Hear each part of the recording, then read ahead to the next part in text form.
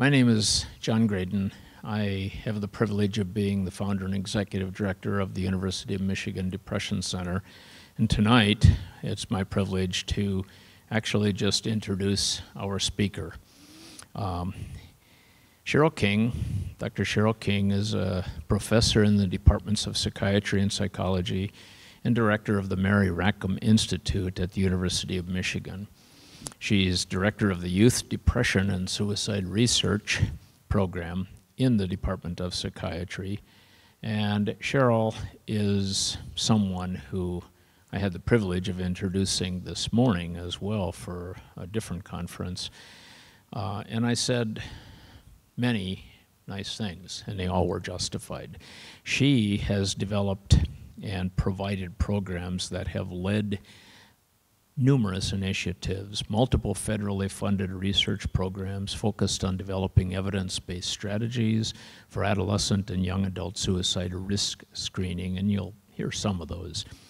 She currently serves as the principal investigator of three NIMH-funded research projects. Many people would be happy to ever have one in their career. She has three just at this moment and they consist of an emergency department screen for teens at risk for suicide. Uh, this is designed to actually develop a term that you'll hear, a brief adaptive suicide risk screen that can be disseminated nationwide. And then a second one is an electronic bridge to mental health for college students. And She'll explain that. And a third one is a 24 hour risk for suicide attempts in a national cohort of adolescents. Cheryl is the recipient of the League of Research Excellence Award from the University of Michigan Medical School. That's a big deal. She's a clinical educator, a mentor in our world at the university. She has trained and educated an entire generation and she serves as the, served as the department's first director of psychology training. She provided leadership for the postdoctoral training program in psychology, helped achieve, achieve its status as one of the first five programs in the nation to achieve national accreditation. She has twice been selected by the recipients of educational teaching as the Teacher of the Year. Award. And she currently provides research mentorship to students. She's an author of a book, um, Teen Suicide Risk, a practitioner guide to screening, assessment, and management. And I could go on and on. This morning I said I had the privilege of recruiting Cheryl. But uh, in addition to her testifying to Congress and doing everything else, she's also the past president of the American Association of Suicidology. The only comment that I will make is that at this stage in time, because those of us in this part of this network, this community, we have done some struggling, as all of you know. That's why you're here. And I think that struggling is with things that uh, we don't like and we're not used to seeing. And so to try to address these some time ago, I actually suggested that we turn tonight's event into a focus on this topic. We are privileged and blessed to have support for an annual event that is now in its 15th year. That is basically the Todd Ouida uh, scholar program, emerging scholar program, and Todd was a young man who was a former University of Michigan student who had his troubles during adolescence, got help, had a supportive family, after having to leave school for a while, went back, flourished, thrived, graduated, went here, became a Maize and Blue addict, and was working for the Cantor Fitzgerald operation in September 11th, 2001, and died in the World Trade Center incident. His parents, uh, Herb and Andrea Ouida, gave some support to the University of Michigan Depression Center to do things, and tonight we've decided to start the first of these community things. But before I hand this mic or her own mic to Dr. King, I would like all of us to acknowledge Herb and Andrea Ouida, who are in this auditorium with us.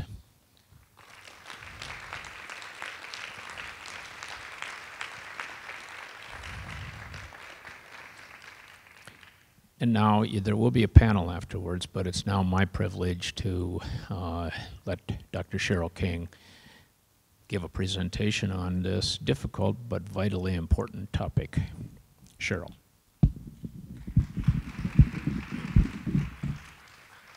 So, um, thank you for that um, generous introduction. I was listening though, and it, it just sounded like I've been around for such a long time.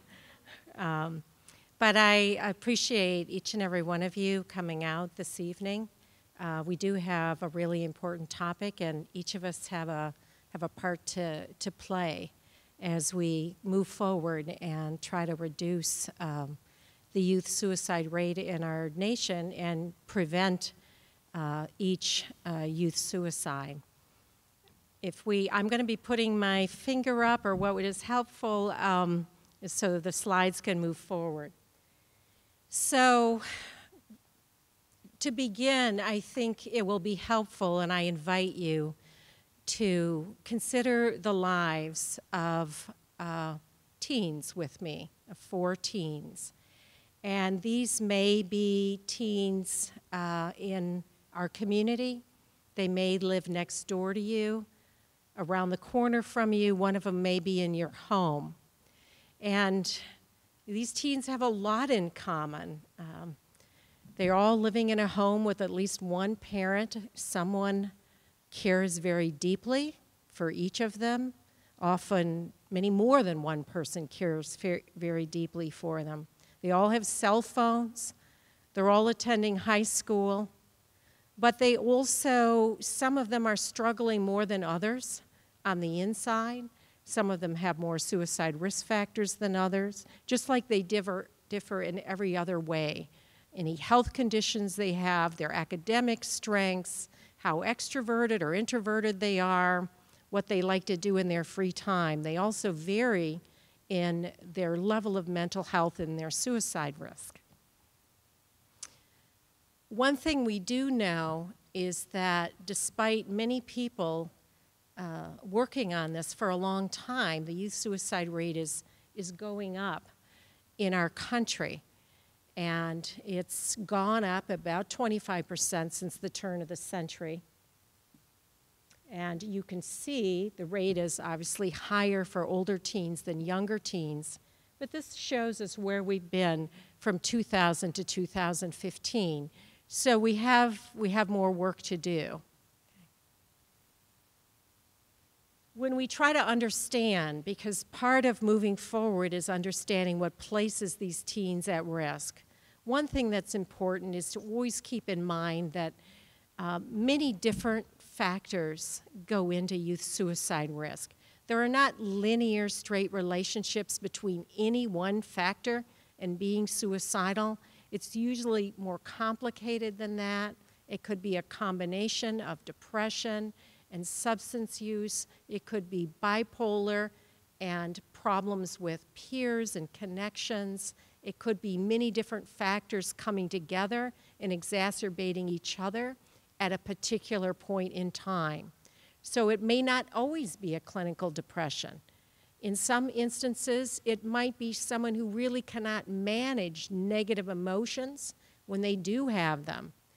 And they have a, a big upset or catastrophe or trauma in their life. They can't manage the negative emotion and they engage in alcohol or drug use, and then they lose their ability to manage the emotions at all or to consider options and problem solve. So we have many different pathways to suicide risk, and we're going to just look briefly, not in an exhaustive way, at what some of these risk factors are. So one is um, reporting to us or sharing or having suicidal thoughts or making a suicide attempt. And this just gives you an idea of why it can be so challenging to prevent suicide because it's a fair number of youth, of students in our schools who do report suicidal thoughts and make suicide attempts. As you can see, the uh, more turquoise uh, bars are the girls. They're about twice as likely to say that they've seriously considered suicide, that they've made a suicide plan, and they're twice as likely to make a suicide attempt. However, suicide deaths are more common among teenage boys and among men than among women. So, about 80% of suicides are male suicides. So, it's hard to identify risk in the males because they're less likely to share suicidal thoughts and make a suicide attempt.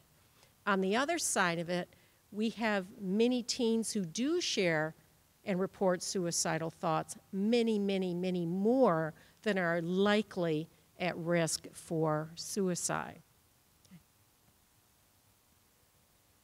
So, our first risk factors are a history of suicidal behavior or attempt. As in most things in life, the best predictor of our future behavior is our past behavior in a similar situation. Youth who have had extreme difficulties in coping and have made a suicide attempt are more likely than other youth to make a suicide attempt again.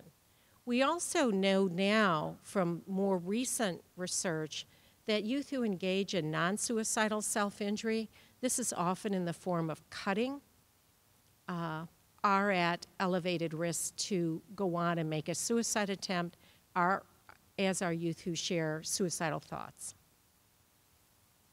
Uh, mental illness, uh, mental disorder, psychopathology is almost always present when we have uh, suicide. And this takes the form, many different forms. It's often a depressive or affective illness, depression, bipolar disorder, alcohol, substance use, but also among adolescents and young adults, uh, aggressive patterns of behavior and conduct problems are a risk factor that is often present with a suicide. None of these need to be present, um, and not all of them need to be present. So we have different combinations in different youth. Some of the other considerations, just to name some, one is sleep disturbance. Uh, across the lifespan, we're learning more and more about sleep, the importance of it to our mental health. Sleep disturbance in teens is a consideration that we want to check in on and try to help with to the extent that we can. Impulsivity. Many people refer to teen suicide attempts as impulsive. This has been a little bit harder to get a handle on, but it looks like most of the time they're not impulsive. Um, the majority of youth who make attempts, when asked after the fact, they will say that they had thought of it before. I think where uh, some of this is how we look at whether it's impulsive or not. Sometimes a youth has had suicidal thoughts intermittently um, when they're most upset or when they're in a particularly down period. Then they go out with friends and they seem fine, or they sit down for a family meal and they seem fine, um, maybe for several days in a row. So the thoughts have sometimes been there all along, but they have been intermittent. And then, when there is an interpersonal crisis or they're under the influence and struggling with depression, those thoughts become activated and we have a suicide attempt. Hopelessness is probably as good or better a predictor as sharing suicidal thoughts, severe hopelessness. Gay, lesbian, bisexual, uh, sexual minority youth, and gender minority youth we have plenty of studies now to show these youth are more likely to report suicidal thoughts, more likely to attempt suicide. They have higher levels. It's not their sexual orientation or gender identity per se. They have higher levels of more distal and more proximal risk factors. Child maltreatment and peer bullying and victimization. Again, because these are risk factors for some, they are not always present. Uh, but a history of child maltreatment, particularly in the form of sexual abuse, is heightened risk for suicide. And bullying and victimization. And here is both those who engage in the bully, bullying and those who are victims, and the ones who are both bullies and victims actually have the most elevated risk. Those youth are probably quite isolated from others and uh, doing very poorly emotionally and in other ways to be a bully and a victim. So, what can we do, and what can each of us do? We don't want to just uh, share information and uh, not impact the rate. How could we dial this down and actually meaningfully impact in a downward direction the youth suicide rate? So, I'm going to talk about some things we might do and then close with some resources for parents and teachers and others. One is we need to recognize and identify the risk when it is present. This is easier said than done. We have a couple of ways to go about doing this. One is gatekeeper training. I know there's some peer to peer in other efforts in the school here. Gatekeepers are those who are around youth and who could recognize risk in the youth and intervene, get them to help. So, gatekeepers are teachers, and parents. They might be people who work in a juvenile detention center. They might be primary care providers, pediatricians. But if we can train these gatekeepers to recognize signs of risk, then we also train them what to do when they recognize it, what to say, how they might get help for the youth. That's one way we can recognize risk. The other way is a more proactive approach. It's to actually screen young people for risk. And there is a large national effort going on now to figure out how we could do this in emergency departments. Many youth move through emergency departments each year. Most youth will move through them once every few years at least. And these are general medical emergency departments where there's often wait times and an opportunity to screen for risk for injury and other kinds of concerns. Uh, proactive screening is sometimes needed, just like gatekeeper recognition, because many young people don't walk through on their own our doors seeking help. And in fact, the males who die by suicide much more often than the females are less likely to walk through our doors and seek help. Uh, So, how, how do we do this proactively? Everyone who has raised a teen um, or knows a teen well is familiar with this phenomena. Much is not shared. Um, like, what is going on, not just in this room, but how can we really know what the distress is or the thinking is of our teen? uh, if they don't choose to share it. And everyone here has been a teen once, and we know all the reasons we don't choose to share some of our thoughts with our parents or with others. So, what do we do with that? One thing that is very important is that we don't use suicidal thoughts as a gateway question to asking more to find out about level of risk. Um, and I think this sometimes happens with mental health professionals, but it may happen with others too. There's been a lot of training over recent years. Ask the question. Don't be afraid to ask the question. Say, I'm wondering if you've had thoughts of death and dying. I wonder if you've thought about killing yourself. I can understand, given everything that you've been going through, all that's happening or I know working with teens, many times when this is going on at home and someone's this severely depressed, they have thoughts of killing themselves. I'm wondering if you've had thoughts like that.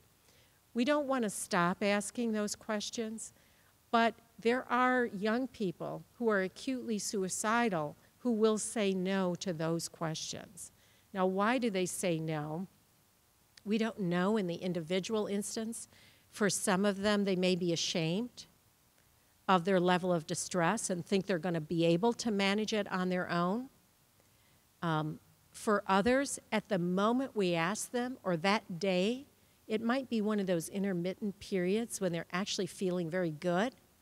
things are going well. They just um, hung out with friends or went skateboarding.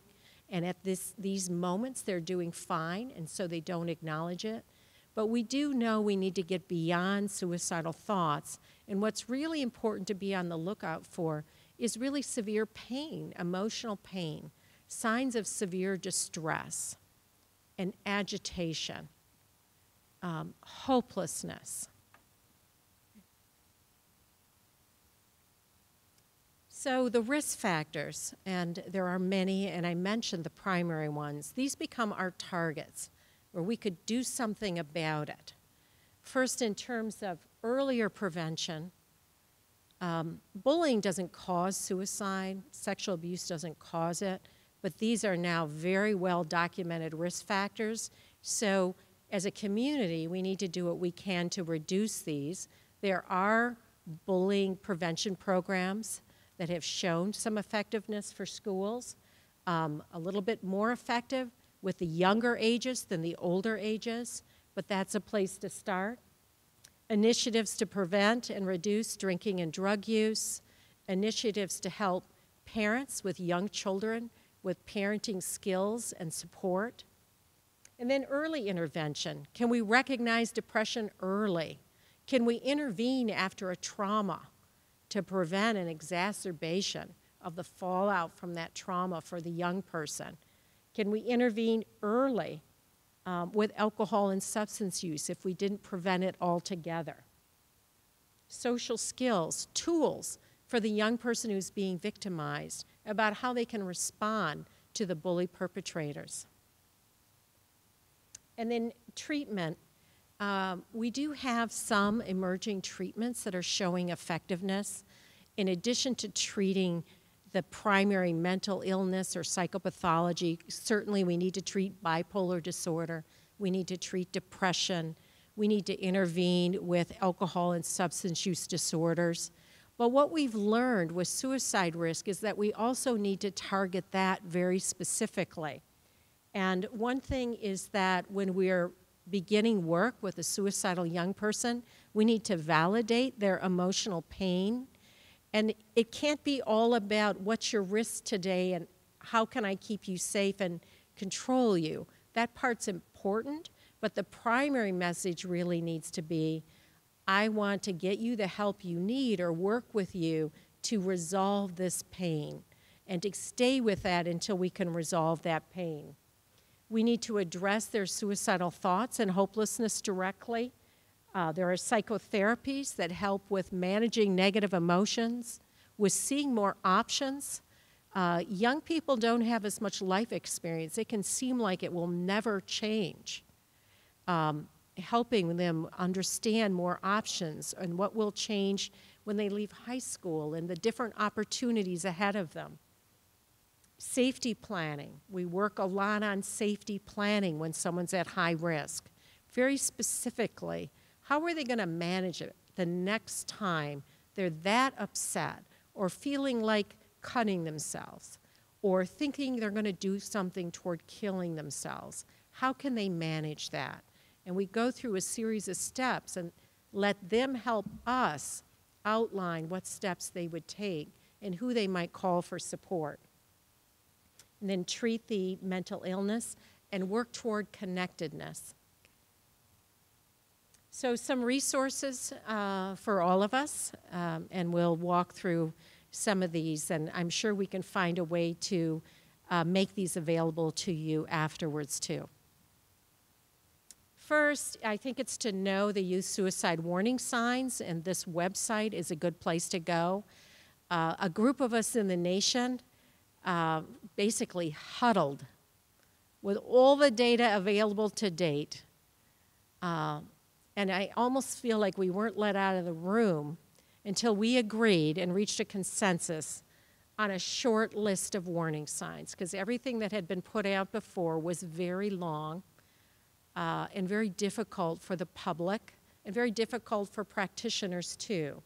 And this was a, a unanimous consensus um, so a youth is talking about, they're expressing suicidal thoughts, making plans or preparation, They're expressing hopelessness about the future.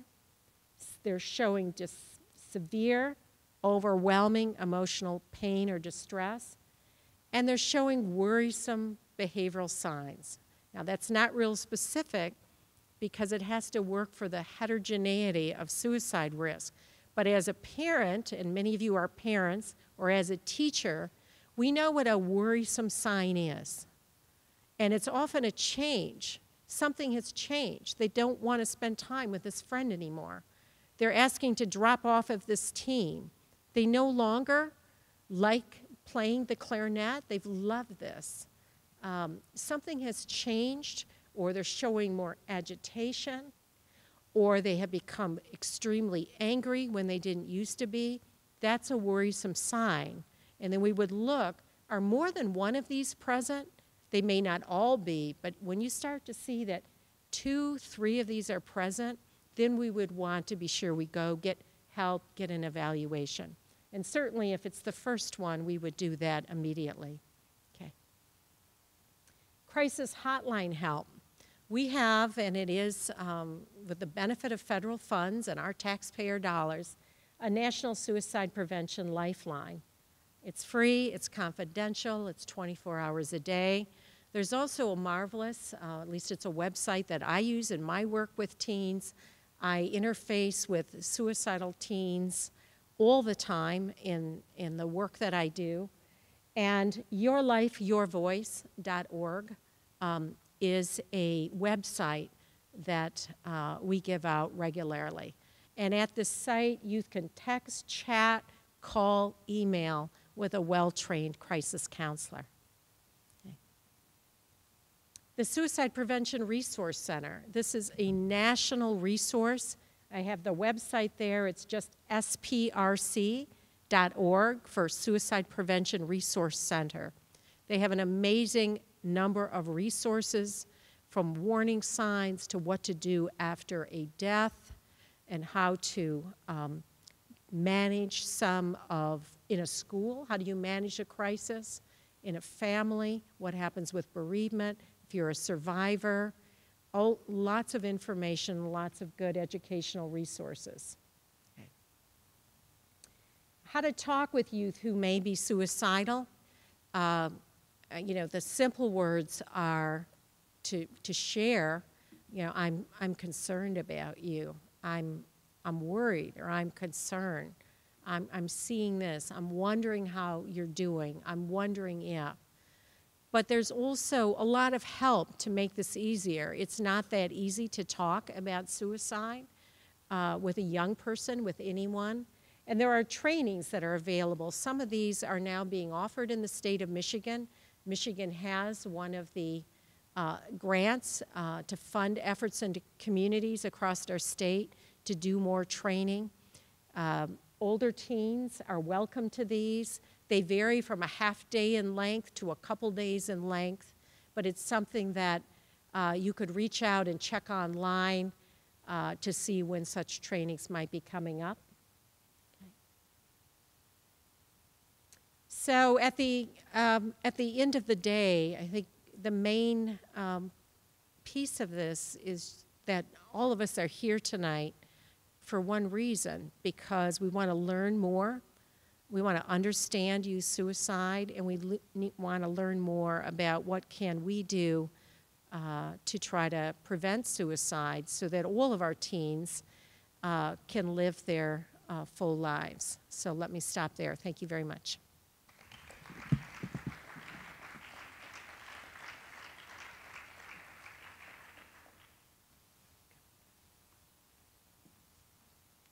Wanted to thank Dr. King um, and invite our panelists to come up and answer questions.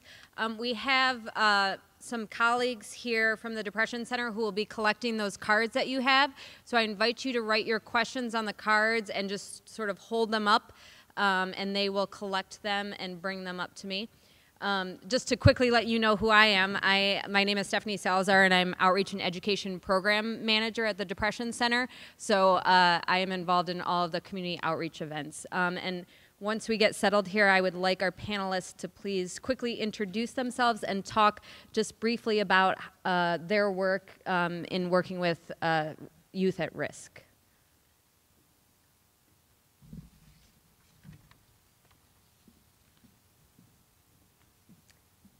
So I think we already know about Dr. King, so I'll invite uh, Polly Gipson to begin. Good evening. My name is Polly Gipson. I'm a faculty member. I'm a clinical assistant professor in the Department of Psychiatry at the University of Michigan. I'm a licensed clinical psychologist. I direct our trauma and grief clinic, and I'm also a member of, of the Youth and Young Adult Depression um, and Suicide Prevention Research Program with Dr. King. Hi, everyone. Thanks for being here tonight on this rainy evening. Uh, my name is Cindy Ewell Foster. I'm also a clinical assistant professor in the Department of Psychiatry and also in Rackham Graduate School at U of M. I'm also a member of Cheryl's research team and um, continue to learn from her, which is much appreciated. Um, I also direct the University Center for the Child and Family here at the University of Michigan. I'm a clinical child psychologist. I also hope to share with you tonight uh, some of the training opportunities that Cheryl was mentioning. I'm a co-investigator on our state of Michigan's uh, youth suicide prevention grant that's funded by SAMHSA. And we also have a very similar grant here at the University of Michigan to support our campus. Um, and both between those two grants, we have some opportunities for training that um, you know, I hope to share with you all tonight. Hi, I'm Victor Hong. Um, I'm a psychiatrist. I'm the medical director of our psychiatric emergency services at the University of Michigan Hospital. And I'm also in charge of the uh, suicide assessment and risk management um, training program for our psychiatric trainees. Uh, does this one work? Yeah, it does. I'm Jonathan Stern. I'm the school social worker here at Pioneer High School.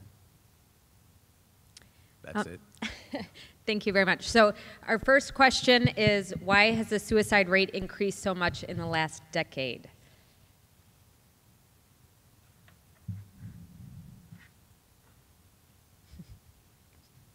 Okay. Uh, You know, we don't know for sure why. We know suicide risk is multifactorial. So it's not one thing that's changed. We actually also uh, are aware that the rate of depression in, among young people has gone up this century in the United States. So it seems like it's becoming more difficult to be a young person, um, just with those two trends going together. Uh, You've probably seen some of what's been in the media the last week or two uh, related to social media and the suicide rate. Some of you may have seen articles. I think that there may be some influence there. Uh, it's probably not accounting for all of the increase. It's a very hard thing to study. But it is the case that there's a parallel climb in the use of social media. And there are studies to indicate that people who use it more sometimes are actually don't have a better mood um, because young people see everything that others post and how many people they've friended. And when you think about what youth post, it's often a party or when they're having a great time or, or look at all my friends. It isn't really capturing their, their full life. But if you were a more depressed or isolated youth at home, you might feel extremely left out. Uh, the other side of social media is that bullying takes on a very different form than when just the three people at recess, recess saw what happened. But here, what we have is it's gone viral, and then it's been shared with even others. And uh, it can be a pain that doesn't go away because it stays up there. So I don't know if that's related to it. I think there's probably other reasons for the increase, and it's not dramatic, it's a gradual increase in depression and in risk for suicide. And there are probably other influences, but it is certainly possible that socio- social media and some of the changes in our society with technology are playing into it in ways we don't fully understand. Another thing that is a little difficult to study, but certainly we can make the correlation, uh, certainly for older teens and in the early college, uh, college age population, rates of drug and alcohol use have spiked dramatically over the past 20, 30 years, especially the use of prescription pills, opiate, pain medications, benzodiazepines. Um, and so you could certainly uh, make the correlation between uh, the rise in uh, drug use and, of course, uh, given that that's one of the main risk factors for suicide, the suicide rate increasing. Yeah, The, just a, the abuse of prescription medication is really a growing problem across the lifespan and very much is influencing our teens. So this question is uh, related. Um, it specifically asks about what research project projects are you aware of that evaluate school stress and suicidal ideation and/or attempts um, that measure academic pressures to succeed and um, societal interactions and pressures? And I, I would like uh, the panelists, if they could, to talk about the research projects, but I would also be interested to hear from Jonathan about what you're seeing in the schools um, from the students themselves. Oh, you want me to start? Okay, uh, good. So I, I think that um, I'm glad this question was asked because I want to give a little sort of context to what happens in school and, and you know what we see. Um, I think that uh, I don't know anything about research projects, but I will say this: that uh, one of the things that's been important to me as the school district starts to look at comprehensive uh, mental health interventions and mental health um, sort of protective uh, processes is um, that we know students walk in with diagnosed mental illness, uh, undiagnosed mental illness. We know kids come in uh, with really difficult experiences at home, and that tends to destabilize them. We've known this for years, and, and we've been doing mental health interventions in schools for years. Uh, it's been kind of ad hoc, right? It's social workers, guidance counselors, teachers, and others that have been doing this. I think that what um, we've started a conversation at and that we need to uh, take a harder look at is what is um, sort of the impact of just school attendance, of trying to meet academic demands, um, of trying to sort of navigate a very complex social environment um, has on the kids day to day. And what we need to um, look at is how we deliver curriculum, how we structure school days, and how we create um, what I would term emotionally healthy schools. Um, we're a, a, bit of a distance from that. Mean, we have other efforts that are going on that are sort of micro level at this point, but um, I think that that conversation is, is starting and is, is going to move forward for us. You know, it's interesting. Um, someone was joking that we all wear a lot of hats at the University of Michigan. So, one of the hats that I have worn for a number of years since joining the faculty is I supervise our psychoeducational testing service in several different places at U of M. And folks have said to me, Aren't, don't, how do those things go together? You do suicide prevention, you're doing testing too. And I really have always thought that they're very related because when we can identify early learning problems for young people and get them the supports that they need. They feel better about themselves, they feel more efficacious, they're more successful, and I think that puts kids on a better, more healthy trajectory as they're going through school.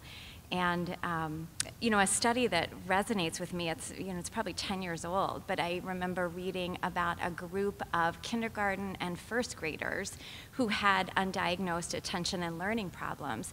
And by the end of first grade, the kids who really were struggling in terms of meeting behavioral and learning expectations in the classroom were showing depressive symptoms. And I think any of us who have parented or been around children um, who struggle academically know how challenging and how stressful that is for young people. Um, so I do think that's something that's really important. Um, and you know, this wasn't in the in the popular press, but there have been other changes that have happened nationally, you know, around the same time. And one is the downward extension in uh, curriculum expectations, right? We're asking more and more of kids younger and younger. And uh, kindergarten now looks like it did when we were in second grade. So I, you know, I wonder about some of these additional stressors for kids. I think the message is you know, more support and helping kids to feel successful in all the areas of their lives is important prevention. I was just going to add, in terms of my own research program development, I'm moving to more school-based collaborations around helping schools become, uh, nationally they think about it as trauma-sensitive schools or trauma-informed schools. Um, the Office for Juvenile Justice and Delinquency Prevention recently put out um, an, a really comprehensive bulletin about this, as well as the National Child Traumatic Stress Network. And so there are a number of groups around the nation that are collecting data right now.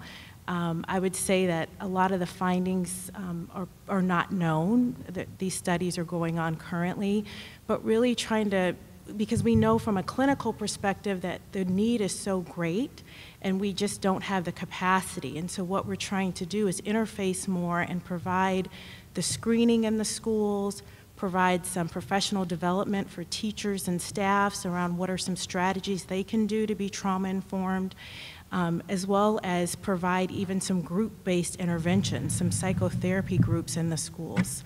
So again, this doesn't get at every youth, but a number of youth are at elevated risk that have experienced uh, trauma and are currently struggling with traumatic stress, and that's having an impact on their attendance, their academic performance, their social emotional functioning, and so on. I just wanted to say one thing, piggyback on what Jonathan was saying, um, in that uh, school counselors and sort of training programs for um, school personnel in suicide prevention has been a really ad hoc, as you were saying. Um, you know, if you interview one school counselor, they'll say they do one thing, another one does a complete another thing. And I, I do want to call out and applaud um, Paul and Jazz from the Ann Arbor Public Schools. I, actually think that um, they're doing a remarkable job of not sitting on their hands and really taking a proactive approach, a multi-pronged approach to making sure all of the school counselors have the same basic training, intervention skills, um, that they need to help uh, youth at suicide risk. The other thing I was just going to say, um, uh, the last thing about the uh, prescription pill um, sort of epidemic that we're going through, is that when we're looking at ways to reduce um, suicide risk in our kids, uh, certainly from a means restriction point of view, you know, all of us as parents, uh, as parents, really have to pay attention, special attention to securing all of our medications and our medication cabinets we know that um, by suicide attempt, the medication overdose or drug overdose is by far the most common type of attempt of suicide. So if we can kind of reduce um, kids' uh, access to those means, uh, maybe we can make an impact. Can I, can I comment a little bit um, off of what Dr. Hong just said? Um, I think it's important to know in terms of the efforts that AAPS is starting to do in terms of um, addressing mental health is that, you know, we've had lots of, you know, significant portions of people who have been trained in, in all sorts of things, critical incident stress management, ASIST training, safeTALK, other kinds of things, that the effort now um, is not to have a few experts in each building or a few experts in the district, but to train large swaths of um, people in these sorts of skills um, that are, are, you know, directed at suicide prevention uh, and if I could give a, a, a, little plug, although I don't have a big interest in it, the centerpiece of our um, mental health effort in um, Ann Arbor Public Schools is something called TRAILS. It used to be called CBT in the schools. Um, you should know when they changed the name, I did not vote for TRAILS. Um, but um, what that is, is they've uh, been here for a few years, have trained some staff in cognitive behavior therapy, staff are running groups, um, and now we're talking about training large numbers of people in um, cognitive behavioral theory so that they have, um, you know, they can introduce elements of what they're doing, of what they're learning into everything that they do. So it becomes part of their curricular presentations. Uh, it certainly becomes part of their intervening in students that they're worried about. Um, Thank you for that. Jonathan has been a great partner in that program, and um, that's led by Dr. Elizabeth Koschmann, and the results from that have been really great in terms of increasing access to, to good care for students and, and um, has been really successful. So also when you're talking about um, training large groups of people, I have a lot of questions here about peers um, and the role that peers can play in suicide prevention. So another program that we do have in all of our school, all of our high schools, and we just started in middle schools, is our peer-to-peer -peer depression awareness program. Um, and so that we train groups of high schoolers and now middle schoolers to create awareness programs for their uh, fellow students so then they can be the ones that are the voice to here are signs and symptoms, it's okay to seek help, and here are the resources that are in your school. Um, so some of these questions also talk a bit about um, are they effective? And so we, we've done research on that as well that show that stigma is reduced, help-seeking intentions are increased, um, and knowledge increases as well too. But um, I'm wondering if you guys have other ideas of good ways for teens to interact with each other when it comes to suicide prevention or problems in general. So, so I can talk a little, I don't want to dominate here, but I, I can talk a little bit about some other things that are going on, um, not just peer-to-peer, but we also have, um, here at Pioneer, uh, we have a group called Positive Peer Influence. It's a peer counseling group, and so we will bring in, we have a, a men's group and a women's group. We'll bring in any student that a concern has been expressed about or members have, um, are worried about, and we'll bring in um, them and, and help them to reflect on what's going on and, and make sure that they know that there are supportive students in the building for them. Um, Huron High School has a program they call Peer Facilitating. Um, they actually have a drop-in room that is staffed by students, and um, other students can come in and talk about what's bothering them and what their stresses are and, and, and what they've been dealing with. Um, Skyline has Sky Squad, which does a whole host of, of um, peer-related support things. Um, they actually staff the counseling office, as I understand it, and so they may be the first people that someone who comes into the counseling office sees, uh, and they, they are getting instant peer support um, before they go ahead and, and visit with their counselor. So um, we think continually about how peers can take a role in that. And, and that really speaks to the question that um, somebody had about the role that peers can play beyond identification of um, teen suicide risk. But then the follow-up question was, is that peer role too burdensome to minors? So I don't know if you guys could talk as researchers and also what you've seen in the school of how the students have responded and if it feels like too much of a burden for them. So I think that um, we've built a culture in the high schools uh, where um, much of, of what I learn about students in crisis comes from other students. So um, they're coming down and they're talking either because it's something that's very acute and they're really worried, or it's um, I can't carry this kid anymore. I, I don't know what to do for them. And so yeah, it does sometimes become burdensome. And um, so our you know intervention is not just with the identified student, but with the one that's trying to support them. So yes, it can be burdensome. And I'll just jump in. Um, I think that's such an important point because we know that most kids, if they're going to tell someone, they're going to tell a friend. So it, it, kids are involved in one another's suicide risk, whether or not we have peer training programs. And so knowing that that happens, I think the peer training programs are giving these young people who are natural helpers, it's giving them resources. And um, I sure hope that some of these efforts will end up influencing the suicide rate in older adults as well, because we really are churning out a new generation of folks who are able to talk about mental health and able to talk about how to support one another. There are several uh, programs nationally that involve peers that show promising evidence, and if you're interested, you can learn more about them on the Suicide Prevention Resource Center website. Um, but reconnecting youth, sources of strength, these are some different um, programs that, that really are showing promise from a research standpoint that involve peers in suicide prevention in schools. Um, I will also add that uh, you know, one of the, the theories about suicide risk suggests that kids are at risk because they feel like they don't belong. And similarly, the Centers for Disease Control and Prevention is asking us to increase connectedness as a strategy to prevent suicide risk.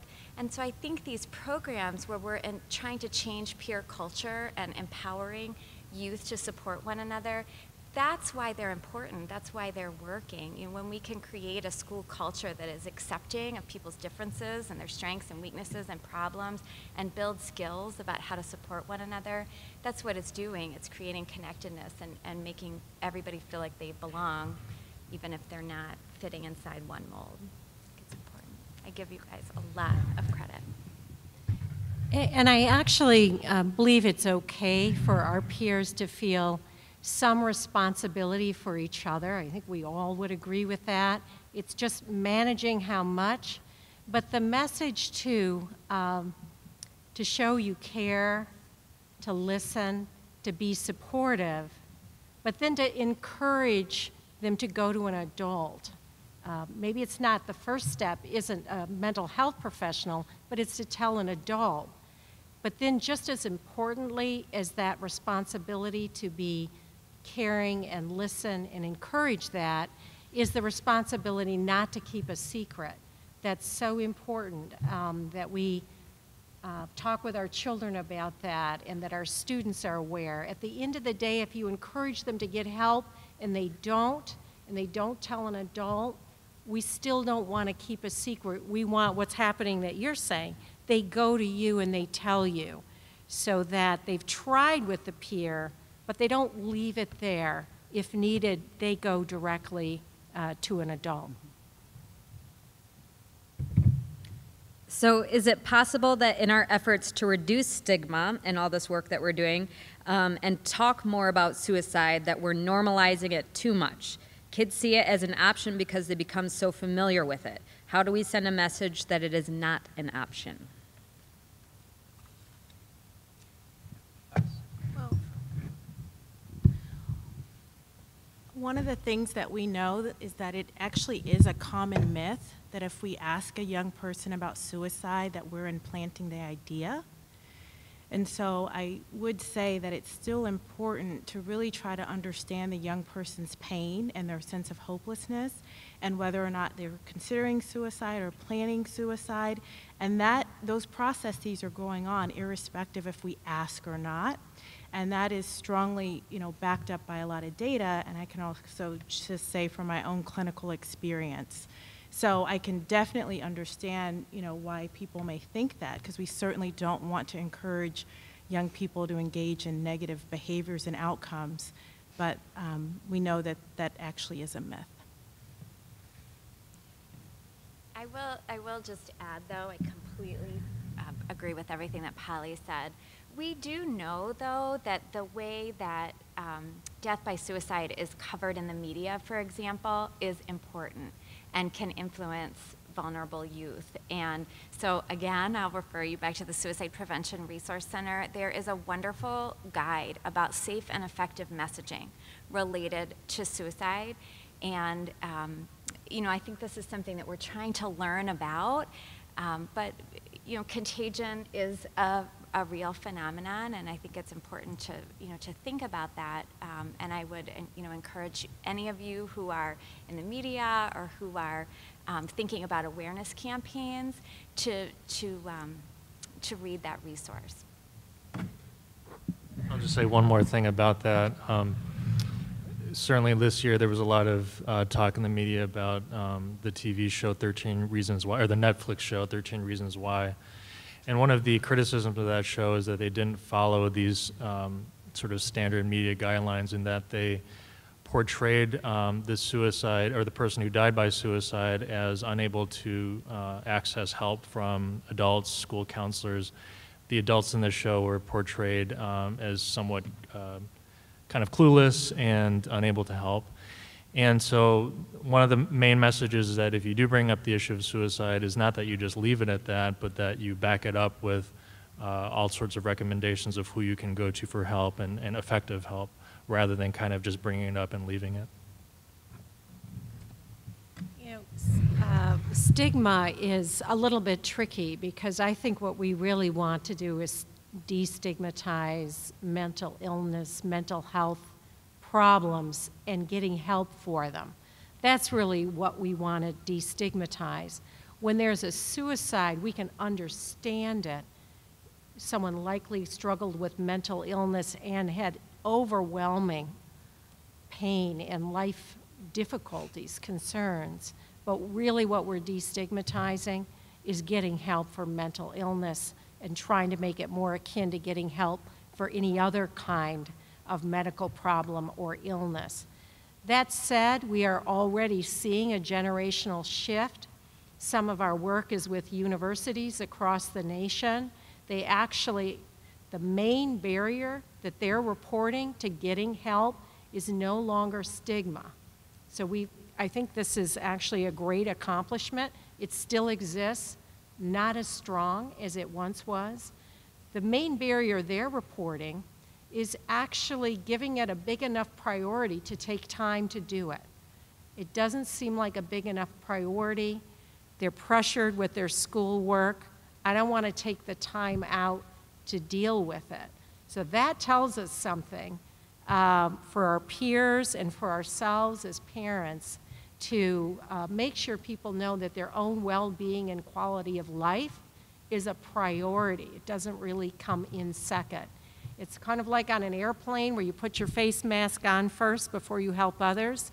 We really need young people to know we, we want you to take care of your health first and then attend to these other things. So I have a question here about uh, the percentages of secondary suicides in the family after a completed suicide. Um, so if somebody loses a family member to suicide, how likely is another member of the family to complete suicide? It's a, it is a slight increased risk. Um, we don't think of it as a primary risk factor.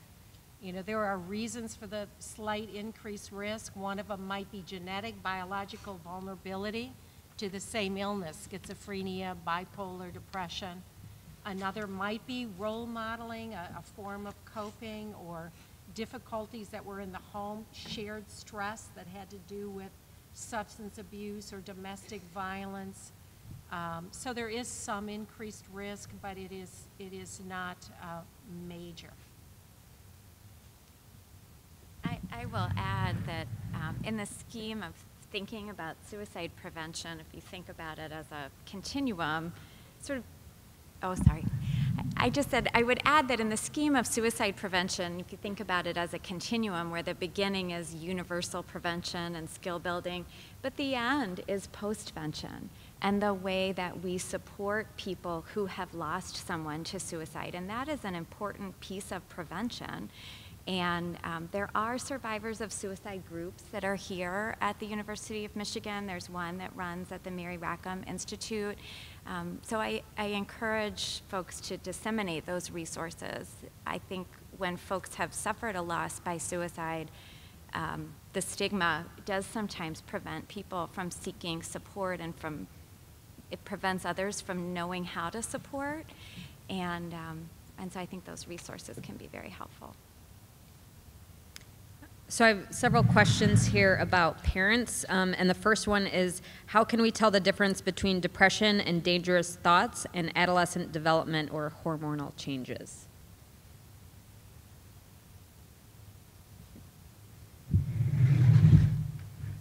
As an aunt to five nieces, I can tell you that's a challenge indeed. I just want to validate that. It is very challenging.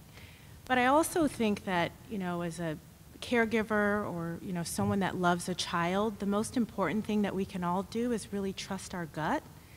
And you know how sometimes we have a conversation with our child or the young person in our lives, or we maybe can't sleep at night because we're wrestling with something they might have said or the way they're behaving, or maybe something feels a little bit different with the current struggles. I would encourage you not to ignore that and to really trust that.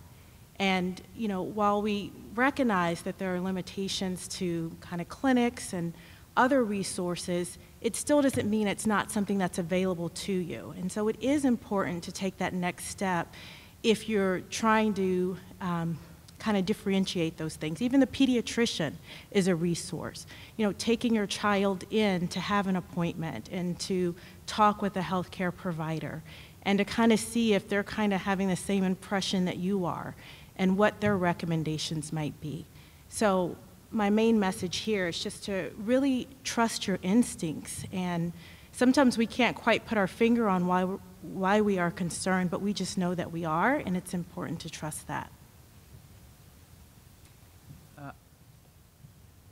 on a sort of a different bent in this, I think that one of the um, barriers that we face in terms of um, making sure that kids are going to be safe and get the uh, interventions they need um, has a lot to do with their perception of their parents' reaction to this. Uh, so there, there are kids who will say, you know, they have so much to worry about. I've got three little brothers, and they have to they just, they're just not going to pay attention to what I do, or they don't believe in depression, or, um, you know, it's, it's just not something I think that will be acceptable at home. Uh, and it's also, you know, sometimes it is that um, perception of parents of their kids, you know, like depression is a normative adolescent state. So what are we so concerned about? Um, so I think, yeah, you know, your words are, are well taken. It's, you know, it's about remaining open and um, just sort of starting a process, even if you, you know, have no idea what to do. Just call somebody you think that might, um, whether it's a school person or your family physician or someone like that.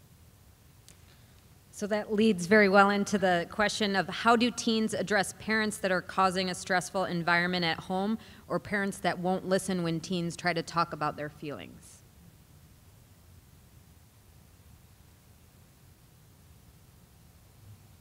Well, one is that it's, it's not always the, the parent. Um, we, we would like it to be the parent, but what we want to encourage the young people, and we hope parents will encourage your children and students, is to find someone that you can talk with and share it with.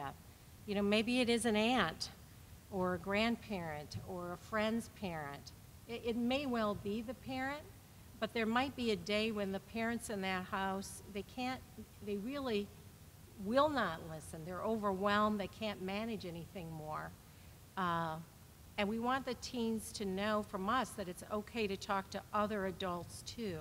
It doesn't have to be that everything comes to the parent. In terms of what to say to the parent, I think the key is timing, just like when we talk with our kids. You know, at a time when emotionality is very low, that there's a calmness um, is really a time to talk about more difficult things. And so helping them with timing, but also I think to have realistic expectations. Uh, it may go well and it may not. Sometimes in a therapy session, we might be role playing with the teen. How might you say this to your parent? I'll play your parent. You know, what if they say this? Because they, we can't have them expect that they're going to pour this out and they're going to get the kind of response that would be ideal. Because the parents are humans too, and parents also have their own struggles and difficult days. One other thing I'll say is, you know, when we see kids coming into the emergency room uh, at risk for suicide, you know, the majority of them, or at least a good number of them, are, are actually in therapy. They're seeing a therapist regularly. They have for many months on an individual basis. And uh, it's surprising to me often how many times the family is not involved in the therapy. Yes, the kid has to get their own therapy, but uh, you know, certainly we're a big proponent of family therapy, and those family interventions where you get the kid and the parents in the same room with a therapist together uh, can be quite powerful uh, in helping the teen or the kid um, learn ways to manage their parents and the parents manage their kids together. So that actually, I, I think, just answered the, the question that I had about if they're seeking therapy, is it enough to have the child there, or does the entire family needs to be there? And I think um, Victor just talked to it's really beneficial to have the family there. I don't know if anyone has anything else to add about that. So if you can get the family there, get the family there. But so we were talking about parents who might not be as involved or supportive, but on the flip side, as a parent, how do we walk out of this lecture having a depressed teen and not worry all of the time? Wait, not worry about them all the time? Oh, um, I don't know how you do that. Um, I think the worry is, is part of it. Um, I, I think that, um, I think one of the things that I would, I would guide parents on is um, to not be so terribly afraid about making a mistake, about saying the wrong thing. Um, the wrong thing to do is to try to push it aside. Um, as, as long as you're open, as long as you're talking, and as long as you're willing to, um, you know, the, the question you asked yourself, what am I willing to do for my kid? I think most of us would say, you know, anything. So, um, I mean, I don't, I don't know what the clinicians at the table would say, but um, for me, it's the, the only wrong act is to not act. Um, so just, you know, stay on it. How do you stop worrying? I, I don't know. Maybe, maybe they can tell me. I wasn't going to answer that. But I was just going to, but someone else might, but I was just going to build off of what you were saying um, and just encourage you to start small. And what I mean by that is, um, you know, even with teens, it's, it's important to have kind of what we call emotion check-ins. And you can, you can use it in a, a language that they can understand, right? Because, you know, no one likes psychobabble. I, I, I don't like it either. But I mean things like trying to get a sense of like, what was their highlight for today? What was their low light for today? And so, in other words, just starting small. It may be really challenging. Like, I think the previous question was kind of maybe getting at maybe there's some repair opportunities that need to happen. Maybe there have been reactions that you regret. I mean, as Dr. King said, we're human. But I think trying to create a, a new culture, kind of like what we're trying to do in the schools. And you can do it with all of your kids. You know, if you take all your kids to school, that's a great time to do it. Turn the radio off and, and you engage in it too, obviously, you know, in a developmentally appropriate way. But have everyone go around and tell what their highlight is for the day and what their low light was or, or what they're looking forward to or what they're worried about. Like there's some simple strategies like that that kind of model for your child that you're a vessel, that you're available, so that when they do need to come to you with some of the bigger things or the heavier things, you've kind of laid a groundwork and they may feel more comfortable coming. I do think worrying is just part of being a parent. Uh, but I think one thing that helps a great deal is to not worry alone. And I think this goes with something that you mentioned, Polly and Victor, um, to have our own support group, to share it with another partner, another adult, and with a professional. So that what we've really done is we've created a team, almost like we've locked arms around a youth, and we have at least a systematic understanding or strategy. This is what we're watching out for. This is each of our roles. We'll support each other. It is a much less lonely place to be uh, with a teen than to be a parent alone uh, with a teen who's struggling.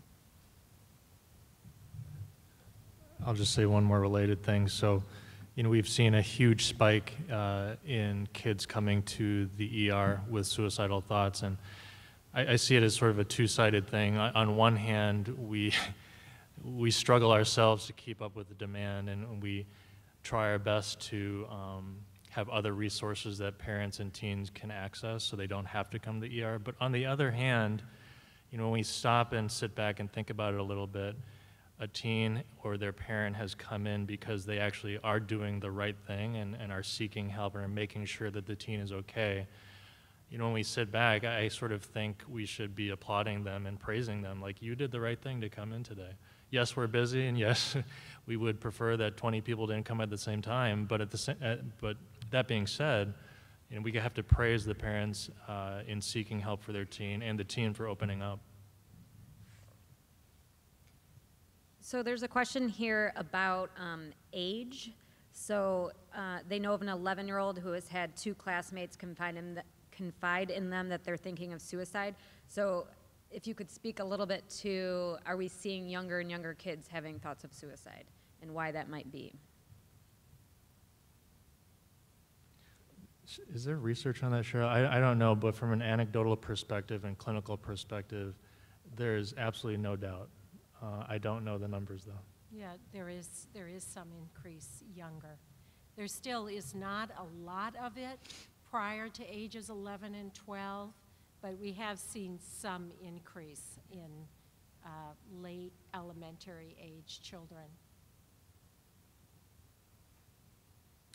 So there's the also a question, oh, go ahead.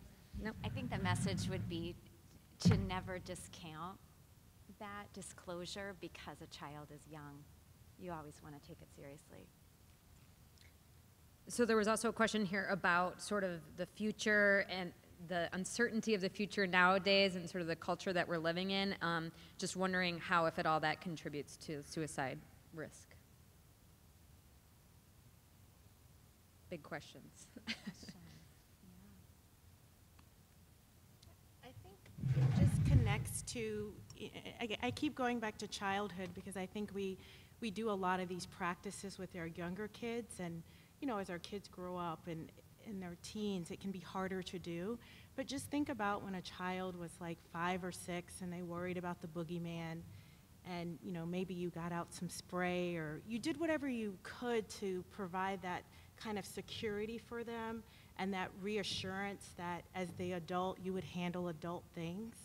And I think that's still important, even for teens, even though they come across really mature and um, maybe they're taller than you even, but they're still, they're still children. And they need that reassurance from you.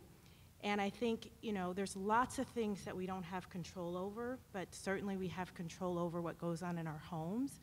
And so I would just encourage you and just try to empower you to, to not lose sight of the things that you do have control over and, and to do those things as much as possible in terms of affirming your child and validating your child and listening to your child and just giving them that assurance that, you know, you're still taking care of the adult things. So the question here is why do adolescents turn to ways of uh, like cutting when struggling with situations? So why self harm?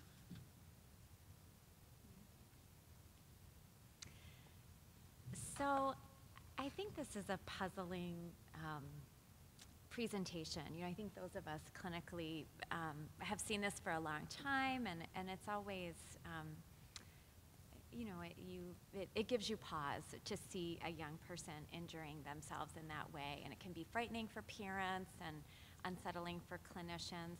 I think kids tell us a couple of different things about why they cut. Um, one is that, you know, I think often um, when kids are struggling with a lot of pain, one of the ways that they cope with that is to sort of numb out, you know, to, to shut down and stop feeling. And so the act of cutting, they communicate that that actually um, sort of reassures them that they're still alive and that they're feeling pain and that, and that um, it connects them in some way to their aliveness. Um, so, you know, that's one thing that, that kids um, talk about. The other thing that we hear from young people is that when they are in this sort of overwhelming um, psychic pain, kind of existential pain, that it's almost helpful to um, transfer that to physical pain. And then they can see it.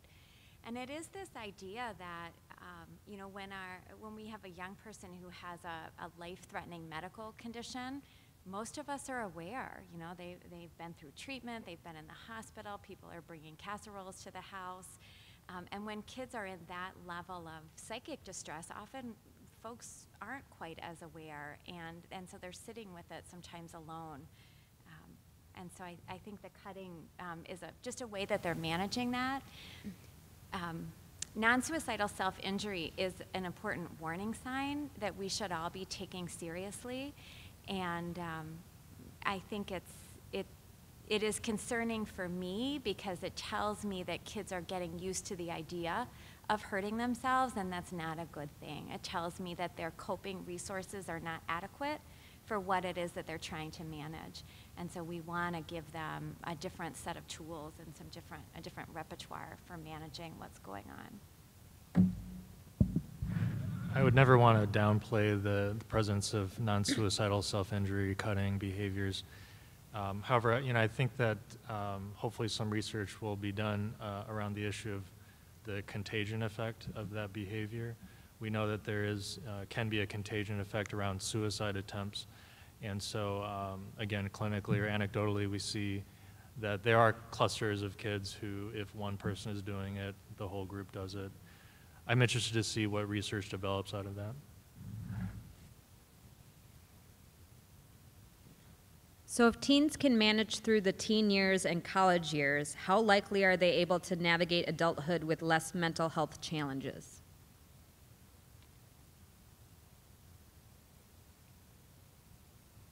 Well, I, I think it is um,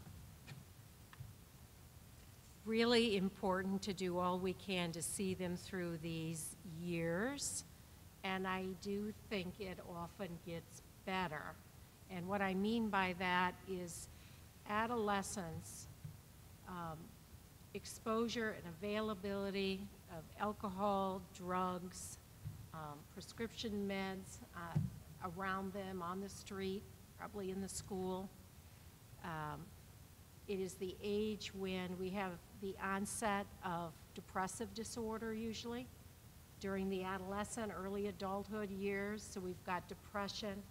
We have all of the social complexities that were mentioned, trying to navigate.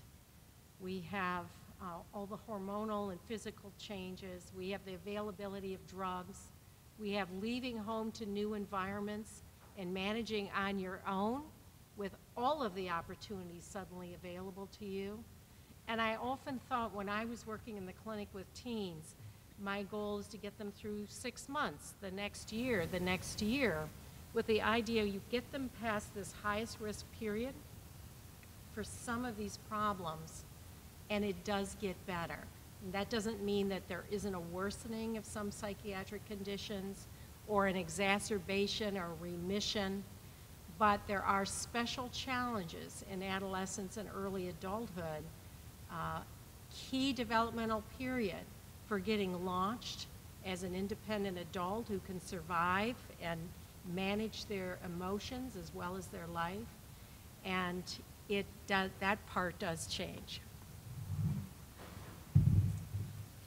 I would just add that it also speaks to the importance of just intervention and trying to build up their toolkit and making sure that they have the strategies so that hopefully they will have learned something in a positive way in terms of coping or they've practiced some positive life skills so that when they do en- encounter you know difficulties once they're beyond emerging adulthood that they can remember that experience. They might have to go in you know for a booster or to see someone else or maybe they on their own can figure out how to adapt those strategies to better fit their life as a middle-aged adult but I think it really speaks to the importance of not ignoring our concerns and taking action and having great programs at the school and this idea of a team and having so many people wrap our arms around them. Um, because, you know, we all know it, we, we still go through stress and, and life situations and transitions even throughout adulthood. No, you go. Um, one other thing that I think it's important to also recognize is that this transition age from adolescence to adulthood is taking much longer than it used to. So a study came out last year. So for the first time in the modern age, there were more uh, more people under the age of 35 that were living with um, a parent than without. And so, you know, whereas it used to take uh, kids a few years to transition from adolescence to adulthood, now we kind of think of it as it, take, it could take 5, 10, 15 years. There's a variety of reasons why that might be. I think we have to be aware just these days it does seem to take kids a, a lot longer to reach that adult phase, and we, they need a lot more support to get through that phase. I think one thing that I wanted to say after listening to Dr. Gipson was I think that one of the sort of, um, I want to say subtweet, but I know that doesn't work in this audience. Um, sort of subtext in the, in the efforts that we make is that um, we want to bring some uh, benefit to the help-seeking behavior. Um, so developing, I think, good help-seeking behavior by, by making sure that we are responding appropriately to the needs that are coming to us I'm guessing would have some um, sort of impact in, in how adults um, will be help seeking in the future. So I think we have time um, for just about one more question, um, and this is about resources. So apart from youth and family services, what resources are there in the community for youth from low-income families who may be struggling with mental illness, substance use disorders, and suicidality? So, um, I mean, I can uh, speak to one is um, community mental health does um, a really good job, has um, highly skilled therapists and, and you know, psychiatrists working um, with them, and, and they are a really important resource for us in schools.